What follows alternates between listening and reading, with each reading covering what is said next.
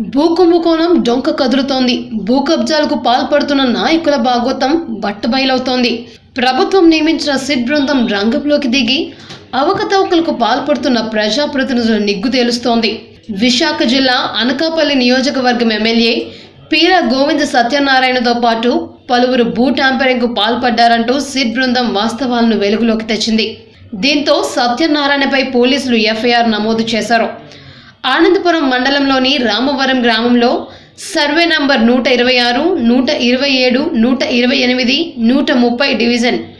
ఒకటి రెండులో సుమారు తొంభై ఐదు ఎకరాల ముప్పై ఎనిమిది సెంట్ల ప్రభుత్వ భూమికి సంబంధించిన దస్త్రాల్లో అవకతవకలు జరిగినట్లుగా సిట్ తేల్చింది.